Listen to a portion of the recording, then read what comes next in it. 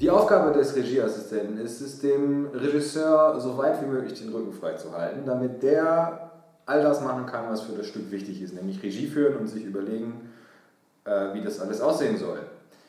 Das bezieht sich meistens auf organisatorische Dinge. Zum Beispiel heißt das, den Probenplan zu koordinieren, also den entsprechenden Schauspielerinnen und Schauspielern zu sagen, hey, dann und dann musst du da und da sein, weil du diese und jene Szene probst. Der wichtigste Job ist wahrscheinlich das Regiebuch zu führen, also den Textauszug und immer einzutragen, wenn sich irgendetwas ändert. Also wenn vielleicht am Text ein bisschen was geändert wird, wenn ähm, Auf- und Abgänge festgelegt werden, wenn bestimmte ähm, Abläufe mit Requisiten oder dem Bühnenbild festgelegt werden oder irgendwelche Positionen, wo wer steht, das muss in dieses Regiebuch rein und dafür ist der äh, Regieassistent zuständig, damit man, wenn man die Szene nochmal probt, nicht alles nochmal von vorne machen kann, sondern eine äh, wichtige, richtige Referenz hat, an, die, an die man sich halten kann.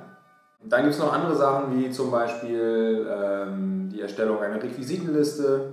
Die Aufgabe des Regieassistenten ist es sozusagen, das erweiterte Gehirn des Regisseurs zu sein. So alles, was der vielleicht vergessen könnte, muss der Regieassistent auf dem Schirm haben.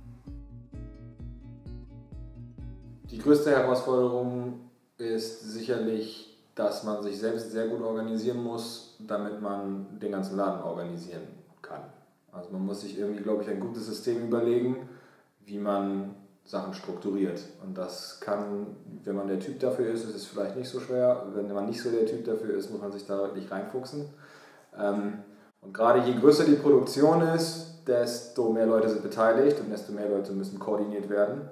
Und da muss man den Überblick behalten und das kann auch durchaus anspruchsvoll sein.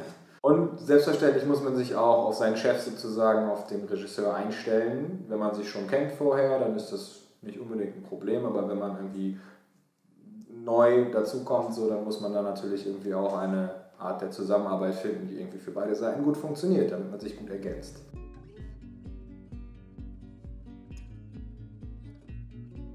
am meisten Spaß macht, dass man irgendwie mit allem zu tun hat.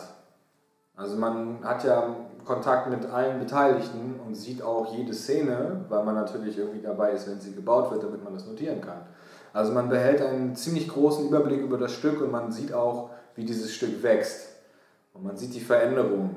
Und das ist äh, tatsächlich sehr schön. Man kann das große Ganze im Auge behalten, was natürlich für die Schauspielerinnen und Schauspieler nicht so einfach ist, weil die ja meistens nur ihren Ausschnitt sehen, bis am Ende alles zusammengesetzt wird. Und das ist der Punkt, den man sozusagen als Regieassistent den Leuten voraus hat. Und das macht auf jeden Fall großen Spaß.